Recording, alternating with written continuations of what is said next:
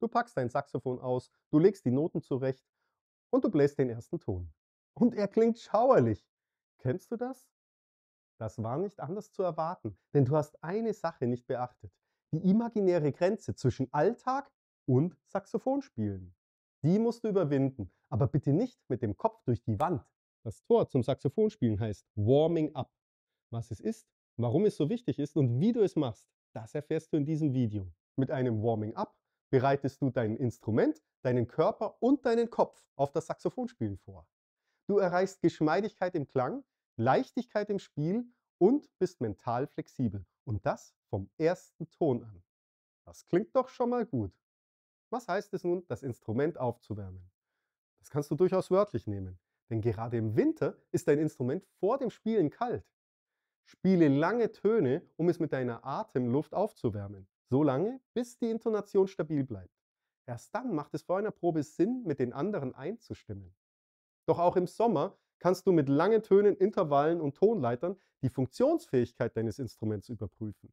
Ich zum Beispiel checke mit zwei Intervallen, ob die Gis- und die Tief-Cis-Klappe, ob die kleben oder sich bewegen lassen.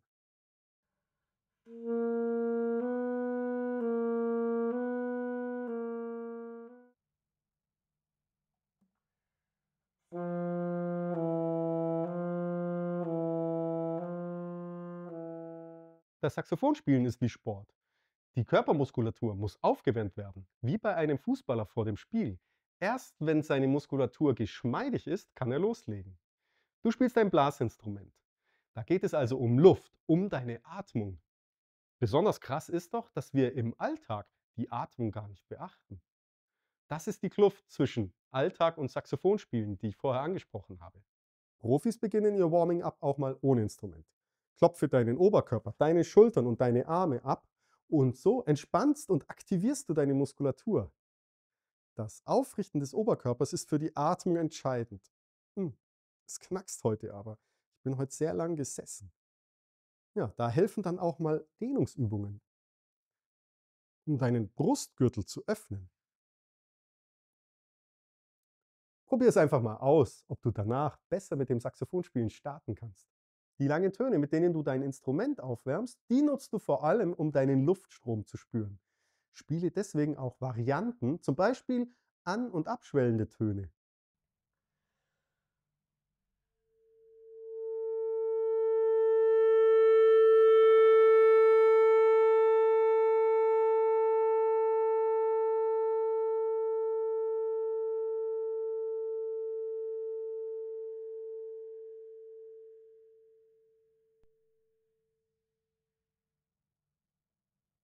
Ich richte meine Aufmerksamkeit bei den langen Tönen auf noch etwas anderes. Zu Beginn nutze ich die langen Töne vor allem, um die Verbindung von meinem Körper zum Instrument herzustellen. Ich stehe stabil auf beiden Füßen. Ich richte meinen Oberkörper auf und dann greife ich den ersten Ton. Ich spüre den Druck der Finger auf den Klappen und spüre auch die übrigen Finger. Dann lege ich meine Schneidezähne auf dem Mundstück ab und spüre sogar mein Kopfgewicht auf dem Mundstück. Diesen Zustand nenne ich spielbereit. Und der muss sich gut anfühlen, bevor ich den ersten Klang blase.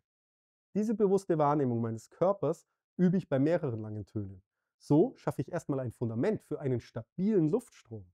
Sobald ich dann einen stabilen Klang höre, weiß ich, jetzt sind mein Luftstrom und meine Lippenspannung bereit für die nächsten Übungen. Jetzt konzentriere ich mich auf meine Zungenbewegung. Ich mache bei den langen Tönen gleichmäßige Zungenstöße.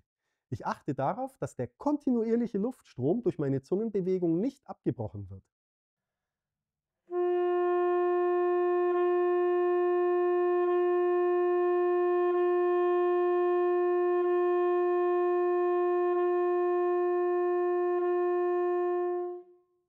Jetzt erst kommen die Finger dran. Die sind im Alltag niemals so gefordert wie beim Saxophonspielen. Deshalb möchte ich sie erst einmal bewusst aktivieren. Dafür wähle ich besondere Intervalle aus. Zum Beispiel die Verbindungen um Gis und Cis, um erst einmal das Saxophon zu prüfen. Oder ich nehme Intervalle, die besondere Beachtung brauchen, weil sie immer wieder unsauber sind. Zum Beispiel die Wippe H1, C2 oder B2, C3. Oder ich nehme ein besonderes Intervall aus meinem aktuellen Stück. Dabei achte ich vor allem auf die Sauberkeit der Bewegung und auch wieder auf den kontinuierlichen Luftstrom. Deshalb wechsle ich die Griffe bewusst und ohne Eile. Bei der Oktafübung spüre ich den hohen Ton im Kopf und den tiefen Ton im Brustraum. Das sind ihre Resonanzräume. Schau mal, was passiert, wenn dein Brustraum eng ist. Dann oktaviert der tiefe Ton nach oben. Im Alltag sind deine Resonanzräume wie versiegelt. Durch ein gezieltes Warming-up kannst du sie öffnen. Zum Abschluss spiele noch eine Tonleiter. Das ist die Kür des Warming-ups. Genieße sie. Spiele sie deshalb ganz ruhig fließend und ganz gleichmäßig. In einer Tonleiter, da ist alles drin.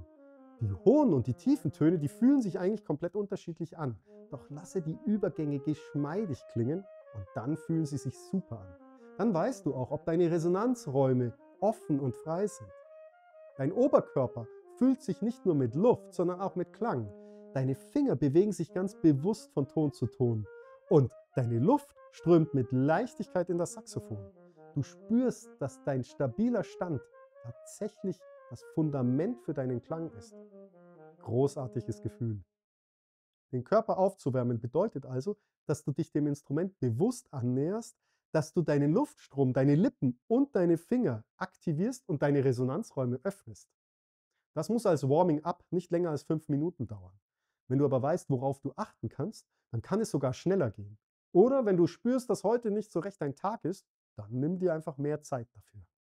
Bereichere jede der vier Übungen, lange Töne, Intervalle, Oktaven und Tonleitern durch Varianten, abhängig von Zeit, Level und Stück.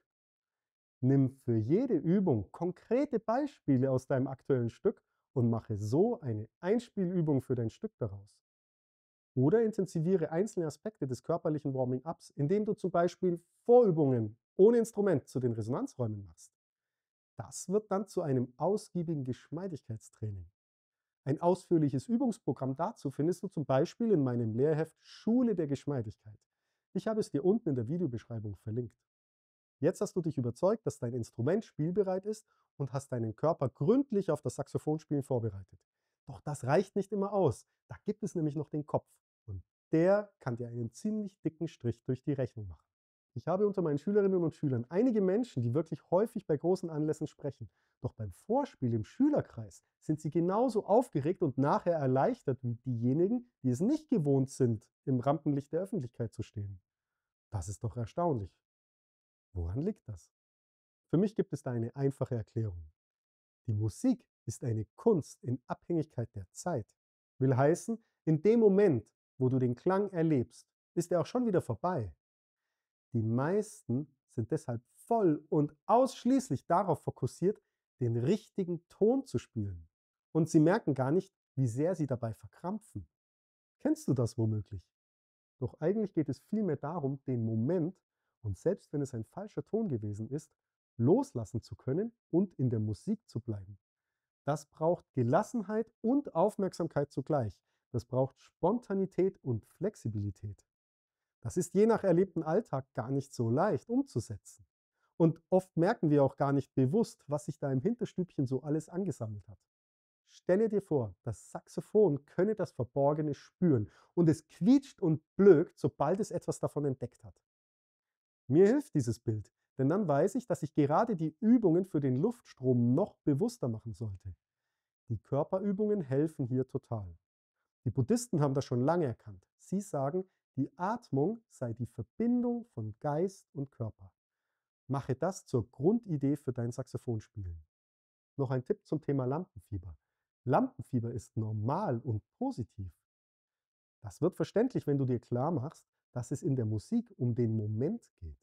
Lampenfieber mag sich unangenehm anfühlen, doch es hilft dir, wach, spontan und flexibel zu sein. Denn Lampenfieber schärft deine Sinne. Allein diese Deutung des Begriffs kann schon vieles lösen. Wenn dich die Situation jedoch beklemmt und hemmt, dann ist es kein Lampenfieber, sondern dann ist es Verunsicherung. Konzentriere dich auch in diesem Fall auf deinen Luftstrom, damit du dich wieder aufs Spielen fokussieren kannst. Versuche dann nach und nach herauszufinden, was dich genau in dieser Situation verunsichert hat. Es gibt auch Übungen speziell für den Kopf. Das nennt man mentales Training ist es besonders für Vorspielsituationen geeignet. Denke dein Stück durch und erinnere dich daran, worauf du an bestimmten Stellen achten musst. Zum Beispiel Griffwechsel, Einsätze oder auch auf Bilder, die deinen musikalischen Ausdruck unterstützen. Bewege dabei auf keinen Fall die Finger mit. Das lenkt den Kopf nur ab. Wenn du dein mentales Training intensiver gestalten willst, mache parallel die Atmung und das Blasen mit. Achte darauf, dass deine Gedanken und dein Luftstrom im gemeinsamen Flow sind. Das ist eine krasse Konzentrationsübung, echt Profi-like. Probier es einfach mal aus, es bewirkt Wunder. Wie merkst du, dass du zum Spielen bereit bist? Die Luft ist alles. Wenn sie fließt, weißt du, dass dein Instrument funktioniert und dein Körper und dein Kopf frei sind. Mit deinem persönlichen Warming-up-Programm fühlst du dich sicher für den ersten Ton. Egal, ob du nur kurz spielen willst, nutze dein Warming-up, damit dein Lieblingsstück vom ersten Moment an lebendig klingt. Viel Spaß beim lebendigen Saxophonspielen. Bis zum nächsten Mal auf dem Kanal der Saxophonschule Christoph Kirschke.